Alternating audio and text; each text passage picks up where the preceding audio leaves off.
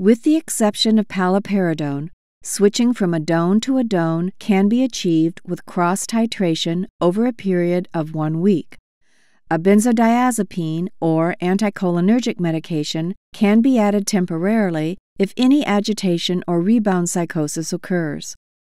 Oral paliperidone is unique in that it exists solely as an extended release formulation.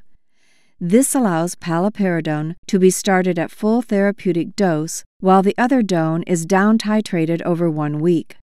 For some patients, however, it may still be preferable to titrate paliperidone up over one week. When switching from paliperidone to another DONE, paliperidone can likewise be discontinued immediately. Lurasidone, risperidone, and ziprasidone can each be initiated at a middle dose and titrated to full dose over one week with a benzodiazepine or anticholinergic medication added as needed during titration. However, because of concerns over orthostatic hypotension with iloperidone, it should still be up titrated over at least one week. If up titration of iloperidone is likely to take two weeks or more due to anticipated intolerance, then the dose of paliperidone may need to be tapered down instead of stopped immediately.